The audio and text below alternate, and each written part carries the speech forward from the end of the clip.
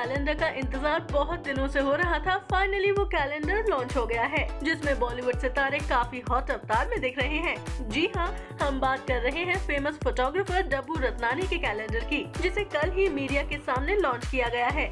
इस मौके पर शाहरुख खान, रेखा, आलिया भट्ट, सिद्धार्थ मल्होत्रा और श्रद्धा कपूर सहित सभी बड़े सितारे मौजूद थे।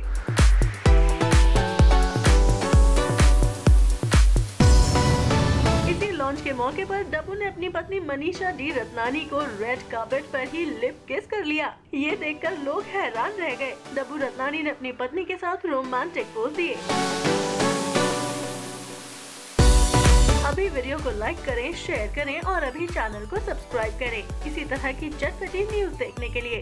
फिर मिलेंगे मसालेदार खबरों के साथ। Bye bye